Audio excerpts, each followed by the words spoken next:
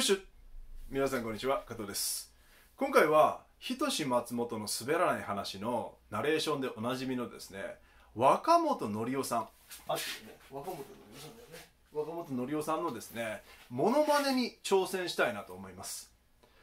でねあの今までモノマネしたことなかったんですけどやってみるとね結構いけるなってことでちょっと聞いてもらっていいですか？ひとし松本の滑らない話みたいな感じじゃないですか。さっきね本当に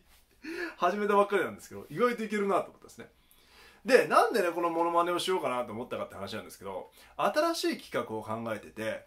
加藤ジャクソンの、まあ、ジャクソン加藤でもいいんだけどの滑らない作り話っていうのをね始めようかなと思ったんですよ。これは滑らない話のパロディでその作り話をで受けを取るみたいなコンテンツを考えててもし面白かったら他の人にもねゲスト出てもらうみたいなやりたいんですけどとりあえず自分で始めてみたいな。まあ作り話っていうテイストであのむちゃくちゃな話したりあとは作り話みたいな感じで本当のこと言ったりみたいな 感じでやっていきたいなと思います。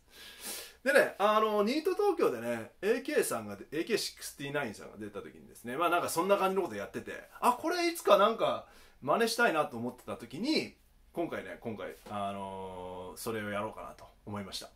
であとねやっぱあの今芸人がねラップする時代というかやっぱ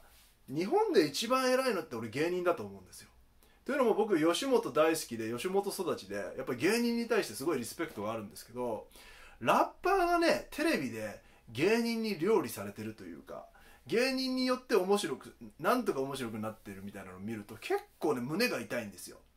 もちろんラッパーと芸人ってまあ別物ですけどでもやっぱりラッパ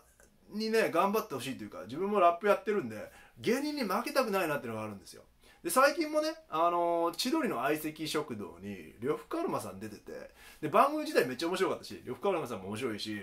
あの良かったんだけどでも結局千鳥が面白いんだよね。千鳥が面白くあのしてくれてるわけですよああいうのって。結局芸人の力で番組としてコンテンツとして成り立ってると。もちろん呂布カルマさん一人で番組になならないかって言ったらそういう話じゃなくてやっぱコメディにしようと思ったら芸人が最強なんですね。結局テレビ番組ああいうテイストだったらあのオチをつけなきゃいけないというか笑いを取らなきゃいけないじゃないですか。それはやっぱりプロに勝てないですよね。だけど芸人もそのラップし始めてたりするわけでこれラッパーがねやっぱトークで芸人に勝たなきゃダメなんじゃないかなっていう謎の闘争心が生まれてて今回その加藤ジャクソンの滑らない作り話ってのをやってみようかなと思います。でオープニングのところでねあまあ一応毎回あの加藤ジャクソンの滑らない作り話みたいなのをちょっともうちょっと練習してね クオリティ上げてあの入れたいなと。毎回そういう僕の声がね入るような感じにねしたいなと思います。